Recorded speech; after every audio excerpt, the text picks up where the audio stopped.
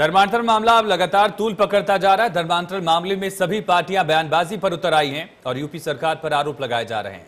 कांग्रेस के वरिष्ठ नेता प्रमोद तिवारी ने धर्मांतरण मामले को लेकर क्या कहा है, ये सुनते हैं।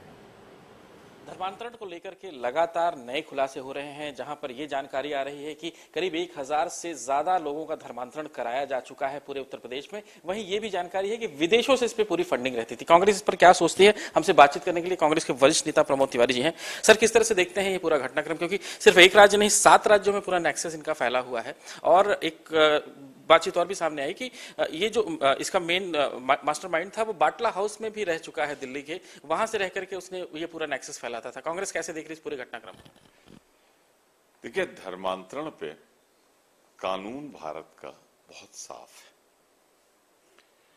बलपूर्वक प्रलोभन देकर, अंधेरे में रखकर, गुमराह करके, इस तरह जो धर्मांतरण कराया जाए वो कानून की नज़र में अपराध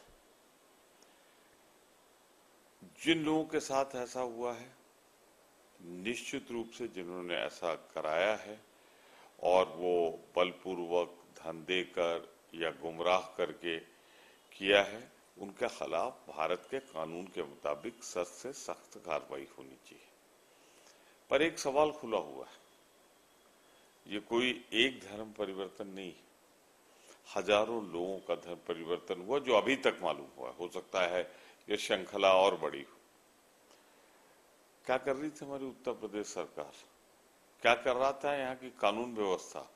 कानून टूटता रहा और ये सिर्फ़ मूक दर्शक बने रहे या तोड़वाते रहे? इसकी भी जाँच होनी चाहिए।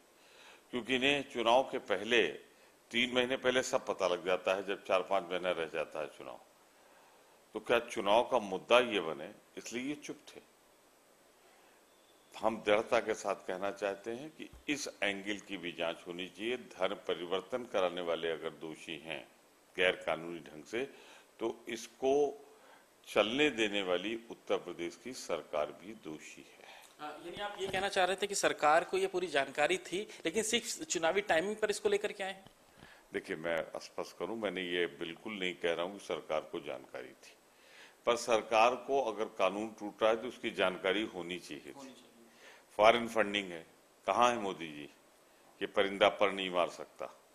कहा है भारत सरकार? पिछले तीन चार साल से हो रहा था तो सात साल से तो वो हैं। कैसे उन्होंने तो कहा था कि ये हो जाएगी हमारी जो मैं कर रहा हूँ नोटबंदी। तो फॉरेन फंडिंग बंद हो जाएगी कैसे हो रही? इसमें भी फॉरेन फंडिंग हुई है मैं कहता तो रहा हूँ फॉरेन फंडिंग कैसे होती रही? फेलियर तो मोदी सरकार का हो गया। फिर यहाँ कानून टूटता रहा उत्तर प्रदेश में यहाँ भी भाजपा सरकार। तो भाजपा सरकार दोषी इस बात की है कि कानून टूटता रहा और वो मूक दर्शक बनी रही। इसलिए दोषी मैं नहीं कह रहा हूँ कि मिलजुल कर करा रहे थे पर जो टाइमिंग चुनी वो सवाल उठाता है कि ये पहले क्यों नहीं हो गया? महीने दो महीने चार महीने और जिस तरह मैं देख रहा हूँ मूक बधिर बच्चों का और जिस तरह हुआ है सामूहिक रूप से। अगर बलपूर्वक गुमराह करके धन देकर हुआ है तो निश्चित रूप से दोषी वो भी हैं जिन्होंने इसे कराया है और दोषी वो सरकार भी है जिसने इसे होने दिया इस मामले पर आप सरकार को फेलियर मार रहे हैं? Hundred percent. ये केंद्र सरकार का फेलियर है जो फॉरेन फंडिंग हुई है और प्रदेश सरकार का हंड्रेड परसेंट फेल्योर है जो ये धर्म परिवर्तन होता रहा, और ये सोते रहे। धन्यवाद, सर। बिल्कुल, ये कहा जा सकता है कि कांग्रेस इस पूरे मामले को लेकर के अपने तथ्य को स्पष्ट किया है। उनका साफ़ कहना है कि कहीं ना कहीं इस पूरे मामले पर जिस तरह से पूरा घटनाक्रम हुआ है, उस पर ये बीजेपी सरकार जो है वो फेलियर हुई है। हरिओम के साथ विजय मिश्रा न्यूज़ लखनऊ।